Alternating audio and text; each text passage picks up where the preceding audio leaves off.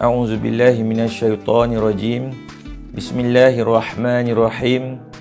الحمد لله رب العالمين والصلاة والسلام على أشرف الأنبياء والمرسلين وعلى آله وصحبه أجمعين. أشهد أن لا إله إلا الله وأشهد أن محمد رسول الله.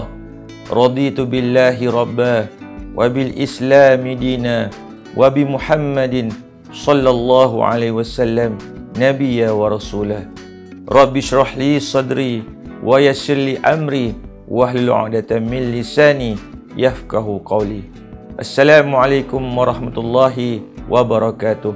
Ilmu tajwid pada hari ini jadi ustaz akan kongsikan adalah pengenalan uh, hukum nun mati dan tanwin. jadi alhamdulillah berkenaan dengan hukum nun mati. Hukum nun mati yang bertanda nun. Nun mati. Eh? Hukum nun mati dan tanwin.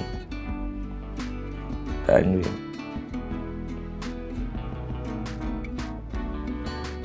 Okey. Nun mati dan tanwin. Jadi kat sini nun mati ni dia kekal sama ada dari segi bacaan dan tulisan. Nun mati tu dia kekal. Dia tak berubah. Dia kekal sebagai nun mati. Eh? Kemudian uh, dia terdapat pada pertengahan ataupun hujung eh nun mati ni. Jadi kena ingat kalau kita cari dalam Quran kita jumpa nun mati tapi kita nak kena tahu apakah hukum nun mati. Itu ilmu tajwid. Itulah salah satu ilmu Al-Quran. Kita baca tapi kita tak tahu hukum dia. Ibarat kita belajar buku. Eh, kita belajar sejarah, belajar matematik. Kita nak jawab soalan ni melalui formula apa. Macam tu Al-Quran. Kita baca dan kita kena tahu. Ini adalah hukum nun mati dan cara bacaan dia bagaimana ha, itu dia adalah ilmu tajwid Okey. Jadi tadi kita dah cakap mengenai nun mati dan juga tanwin. Tanwin ni adalah huruf nun tambahan, eh? Nun tambahan yang bertanda mati yang berada di akhir kata. Maknanya dalam satu kalimah di akhir kalimah tu dia ada tanwin ataupun mati eh uh, misal kata hamidun eh hamidun hamidun eh jadi tanwinnya di akhir kalimah jadi ini yang dikatakan tan tanwin. Eh? Kemudian kita ambil contoh lagi satu iaitu bi gulamin eh?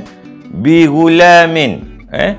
Ba gha lam mim eh bi gulamin tanwin di hujung kalimah dan kita nak tengok apabila tanwin ni bertemu dengan huruf apa? Dan bagaimana cara kita nak menyebut perkataan tu?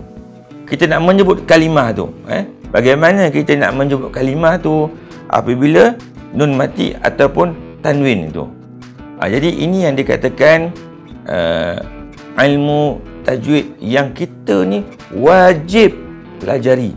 Ingat, wajib mempelajarinya ilmu tajwid ni. Jadi insya-Allah sampai kat sini saja. Jadi insya-Allah lain episod nanti kita akan bertemu, eh, kita akan bersama lagi. Eh. Jadi wabillahi taufik wal hidayah. Wassalamualaikum warahmatullahi wabarakatuh.